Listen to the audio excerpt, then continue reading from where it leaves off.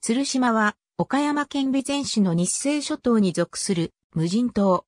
個人が所有している。北西岸にわずかに砂浜があり、全体的にはなだらかな丘陵だが、播磨灘に面する東海岸は断崖である。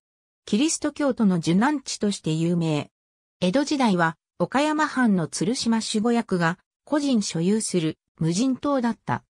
浦上四番崩れと呼ばれる長崎浦城のキリスト教弾圧の際、捕らえられたキリシタンのうち117人が明治2年に岡山藩に預けられ、翌年9月に鶴島に送られた。明治6年に信教の自由が認められるまで、開墾と改修を強制されて18人が死亡している。島の南東の斜面に墓地があり、自然石による墓石や殉教者碑、十字架が建立されている。改修の祠などともに、墓地は備前市の文化財に指定されている。